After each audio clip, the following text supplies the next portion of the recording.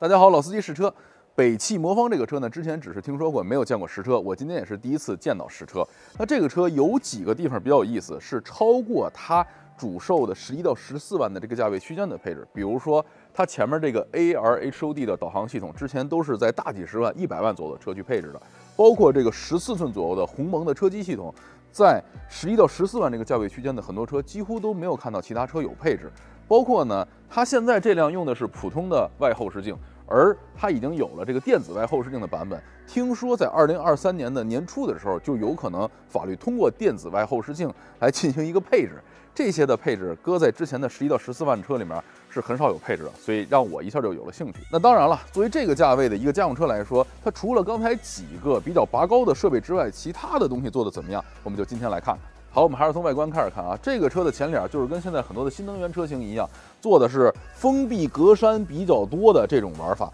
因为呢，你是一个汽油车，前面的封闭格栅做的比较多的话，确实对散热的压力会比较大。所以我细观察这个格栅，它上面用了这种数字点阵的感觉，并且这个颜色配色是比较年轻化的一个风格。那在这里面能看到，它其实中间是有镂空眼的，但是因为它跟底下这个黑格栅融在了一起，所以像是一个整体封闭的格栅的系统，中间是有透气的，只不过这个透气点并不是非常的大。那主要呢还是靠底下的这块来进行一个散热的处理。呃，所以这个设计我觉得对于汽油车来说是一个挺大胆的玩法，因为如果正面撞风不够的话，它里面的散热的压力确实是比较高。那看来工程师是做了一个严谨的测试跟计算的，应该是没有问题的。这边呢，现在主流玩法一个小眯眯眼的日间行车灯，底下这些点阵的状态都是装饰，它的底下近远光的主灯是在这个位置。OK，我们现在到车身侧面，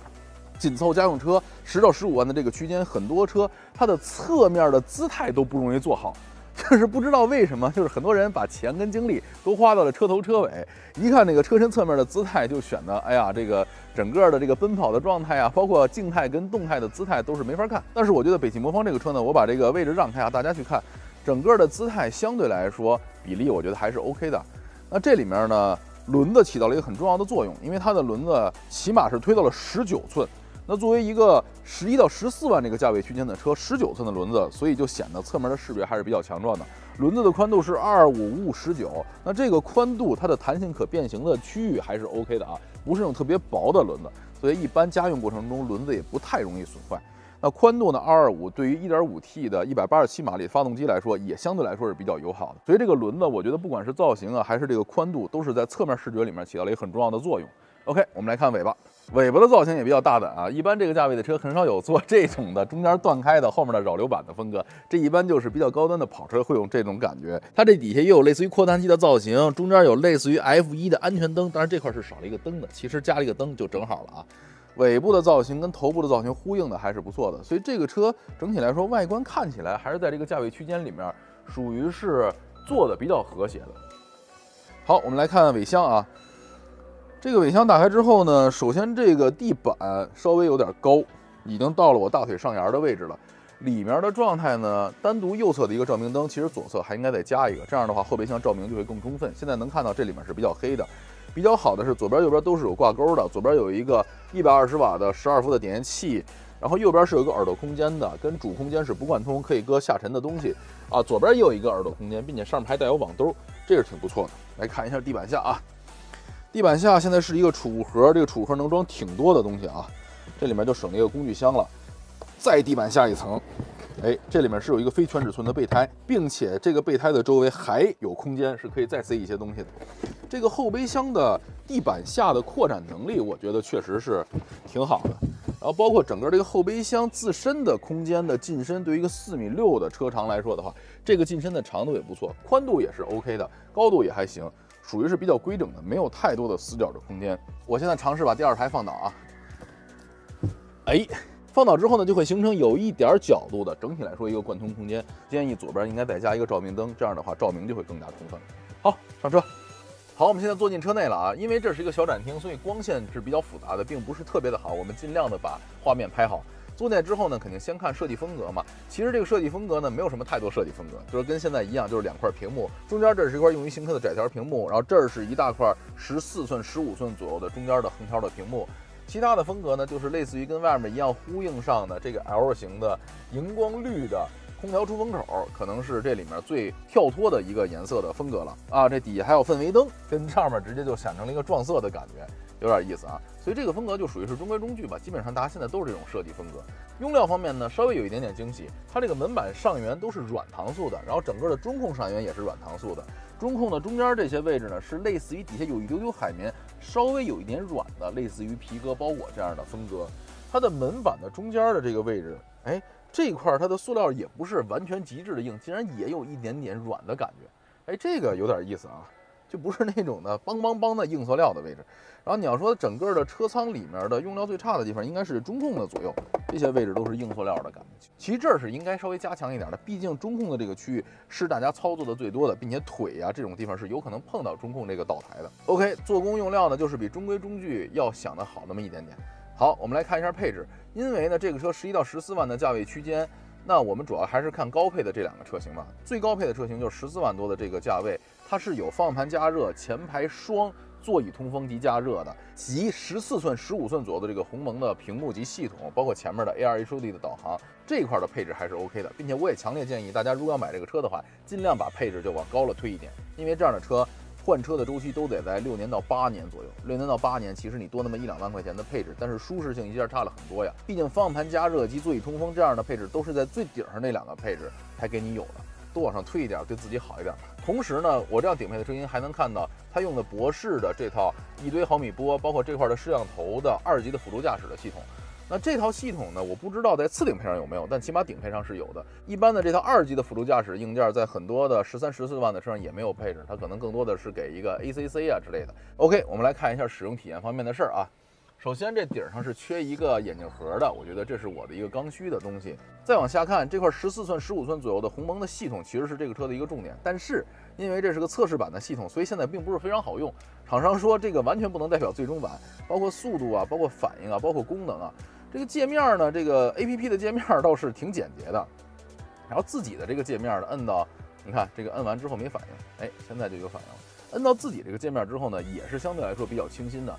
鸿蒙这套系统调好了之后，其实它的速度是非常 OK 的，外加上鸿蒙它最大的一个精髓是万物互联。比如说我用的鸿蒙系统的手机，我的手机跟车之间就会产生一个无缝的扭转，包括鸿蒙系统，你回家之前离家，比如说五公里、十公里，家里面的设备就可以启动了；包括你从家走了，比如说离家了一公里，家里的很多设备就开始关闭，或者是什么扫地机器人就开始启动了。这些是鸿蒙系统的一个延续，但是现在都没有法去试。但是呢，这套系统既然有了的话，就代表更多的一个可能性嘛。